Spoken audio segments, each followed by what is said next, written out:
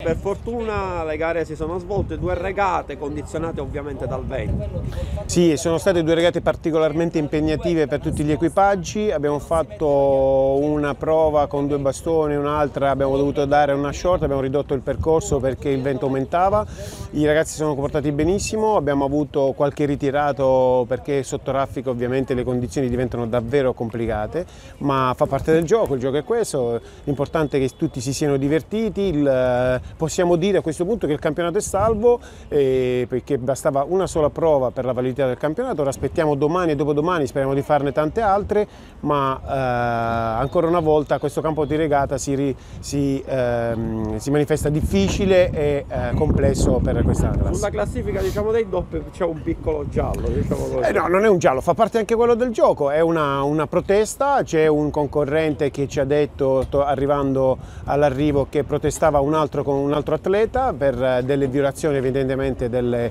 norme di regata. Vediamo, le regole ci dicono che deve concretizzare e eh, formalizzare la regata, la, la protesta e quindi attendiamo quest'ora che, eh, che, spetta a lui per formalizzare la protesta, dopodiché si discuterà e poi eh, se avrà ragione insomma ci sarà una nuova classifica. Due parole sui prossimi giorni, con, ci sarà sempre evento forse un po' più forte rispetto... Purtroppo sì, purtroppo sì, ci sarà, è previsto brutto tempo, su, sicuramente domani tantissimo vento eh, e domenica purtroppo sarà, è prevista onda eh, l'onda è più complessa, di, di, più complessa gestione rispetto al vento, però eh, si dicono previsioni perché non sono eh, certezze, quindi vediamo un attimino Anche cosa ci sembrava difficile, ma poi si è accorto. Alla fine ce l'abbiamo fatta, quindi va bene così. Abbiamo fatto due prove, eh, sono state molto divertenti in quanto c'è stato eh, molto vento, anche raffiche superiori ai 15 nodi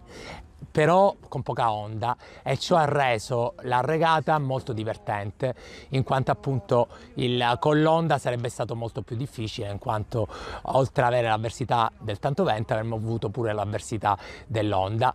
e fortunatamente oggi siamo riusciti a fare due prove e, ciò, eh, e per questo già la regata è valevole, quindi la vera senza esclusi è salva. Nei prossimi giorni sì, sicuramente il vento rinforzerà e infatti domani sono previste raffiche superiori ai 20 nodi. E la nostra classe per regolamento eh, non può superare i 15 nodi per uscire quindi eh, probabilmente domani non si potrà uscire. Eh, però insomma sarà sempre una, una festa in quanto la vela senza esclusi principalmente è un, appunto come dicevo una festa, è una riunione di tanti circoli che si danno appuntamento ogni anno qua a Palermo.